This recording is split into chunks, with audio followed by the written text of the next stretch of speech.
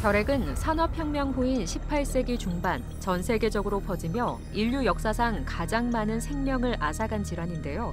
결핵균은 1882년에야 로베르트 코우에 의해 발견돼 1921년과 1940년대에 각각 BCG 예방 백신과 결핵약이 나오면서 이친병으로 여겨졌습니다.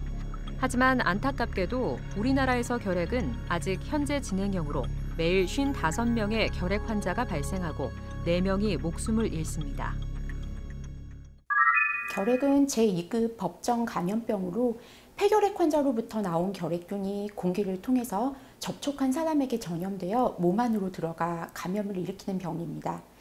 결핵균은 다른 세균과는 다르게 매우 천천히 자라기 때문에 감염된 후에 오랜 시간이 지난 후에야 병을 일으키는 경우도 많습니다. 결핵균은 산소가 많은 곳을 좋아하기 때문에 폐결핵이 가장 흔하게 발생하지만 폐 외에도 임파성 결핵이나 결핵성 늑막염 그리고 신장 결핵과 같이 우리 몸의 어느 부위에도 병을 일으킬 수 있습니다. 결핵은 수천 년 동안 인간에게 영향을 끼쳤으며 여전히 세계에서 가장 치명적인 전염병 중 하나입니다. 우리나라는 결핵 발병률이 25년째 OECD 국가 중 1위를 기록하고 있는데요. 세계보건기구에 따르면 결핵은 2019년 140만 명의 사망자를 발생시켰고 전 세계 인구 4명 중 1명꼴로 결핵에 감염되며 감염자 중 5에서 15%만이 증상을 보이는 것으로 알려졌습니다. 결핵균은 공기를 통해서 감염이 되는데 폐결핵 환자가 기침이나 재채기를 하게 될 때 결핵균이 공기 중으로 퍼지게 되고 공기 중을 떠돌다가 주변에 다른 사람들이 숨을 쉴 때 그 결핵균이 그 숨을 들이마시는 사람 폐 속으로 들어가서 감염을 일으키게 됩니다.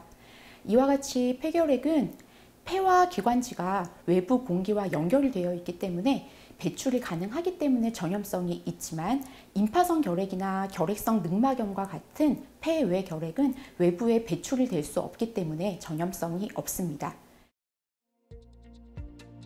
일반적으로 결핵 환자의 70에서 80% 정도가 기침, 가래 등의 증상을 가지고 있지만 이는 반드시 결핵 환자에서만 볼 수 있는 특이한 증상은 아닙니다.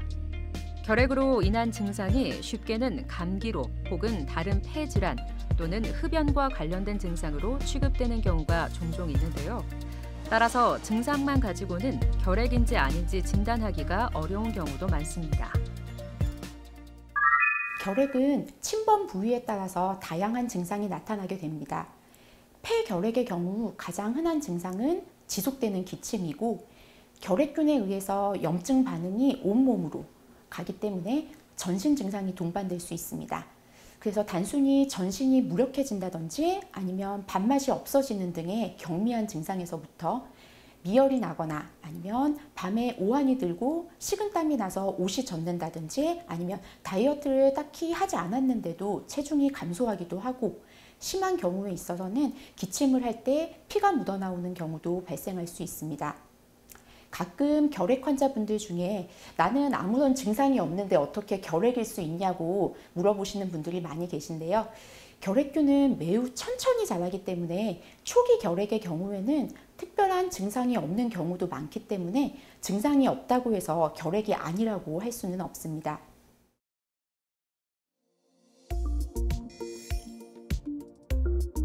만약 2주 이상 지속되는 호흡기 증상 및 전신 증상이 있는 경우 결핵을 의심하고 검사를 받아야 합니다. 특히 환자가 결핵에 감염될 수 있는 위험 인자를 가지고 있는 경우라면 더욱 강력히 의심해 볼 수 있는데요. 우선 결핵균의 감염 여부를 조사하기 위해서는 투베르쿨린 피부 반응 검사 또는 인터페론 감마 분비 검사를 시행할 수 있습니다. 여기에 활동성 여부를 확인하기 위해 흉부 X선 촬영을 시행하고 결핵균을 확인하기 위한 객담 도말 검사 및 배양 검사, 핵산 증폭 검사를 시행하는데요.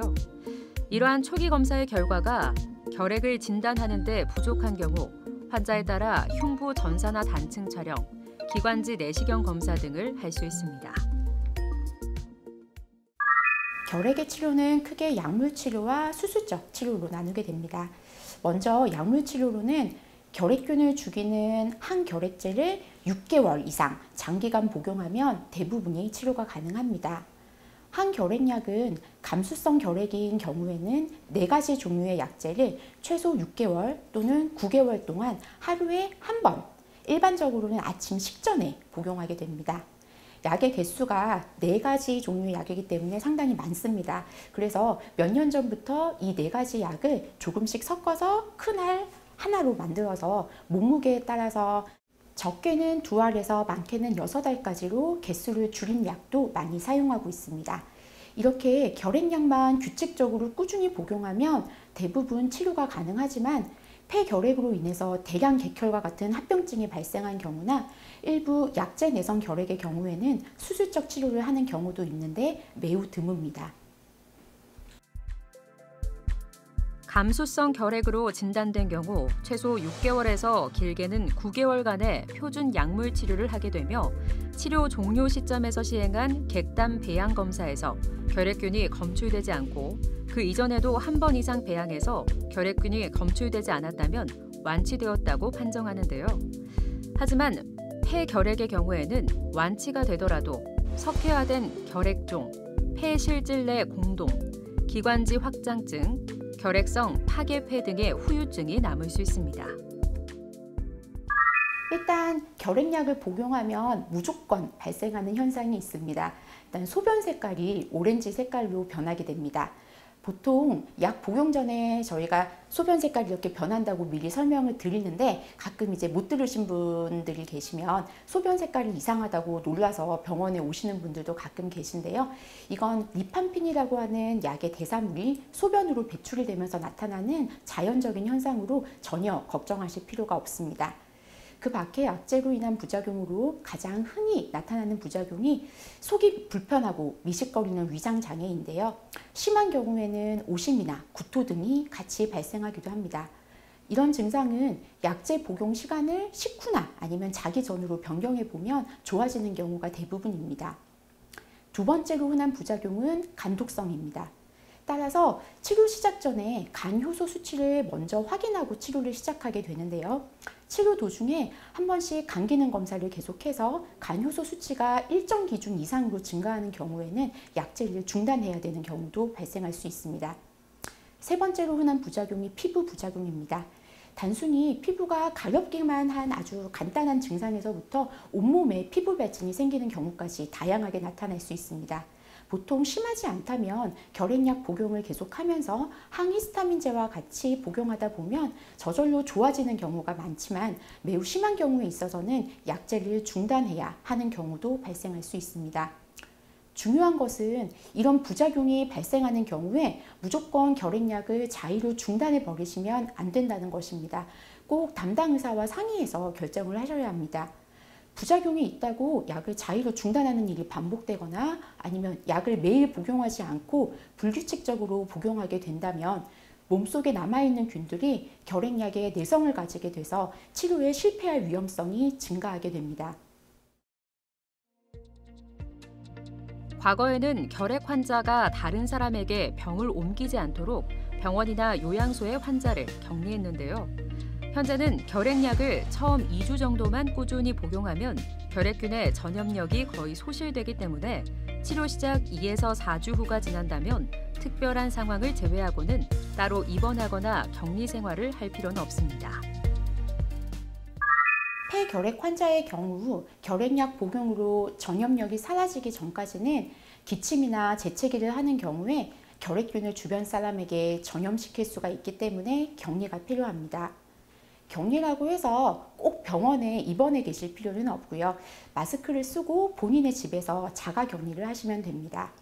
항결핵제를 꾸준히 복용하시게 된다면 전염력은 급격히 감소해서 적어도 2주 이상 결핵약을 복용하시게 되면 기침 등의 호흡기 증상이 없어진다면 전염력은 거의 소실되기 때문에 대다수에서 격리 해제가 가능하고 일상생활을 하시는데 전혀 문제가 없습니다.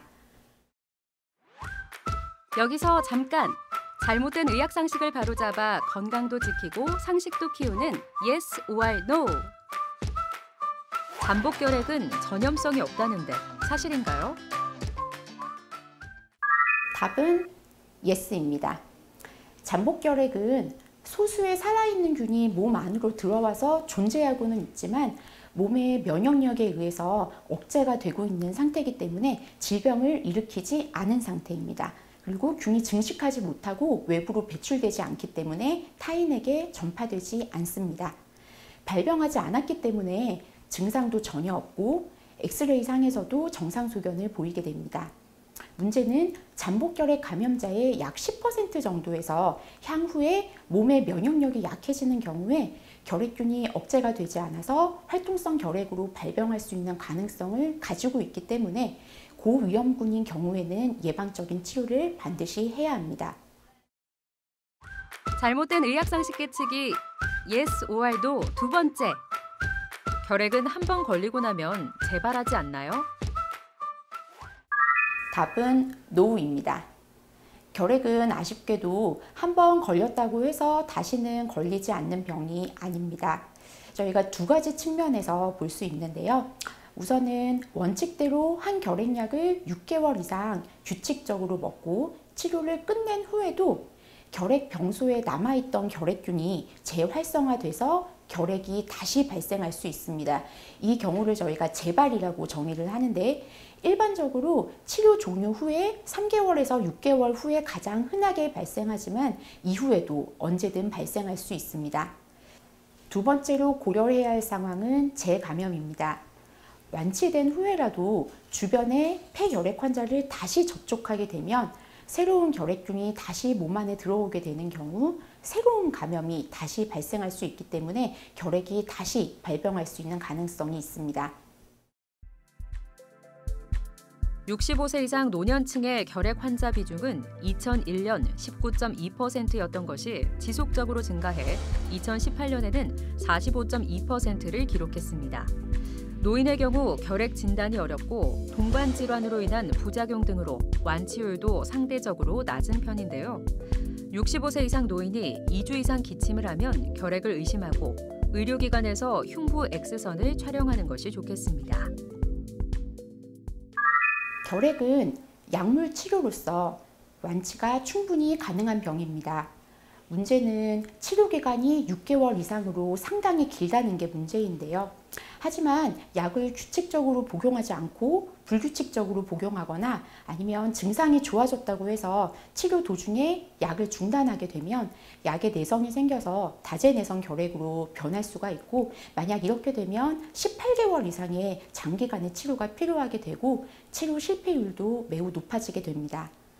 따라서 조금 힘드시더라도 규칙적으로 6개월간 빼먹지 않고 약제를 꾸준히 복용하는 것이 무엇보다 중요하겠습니다.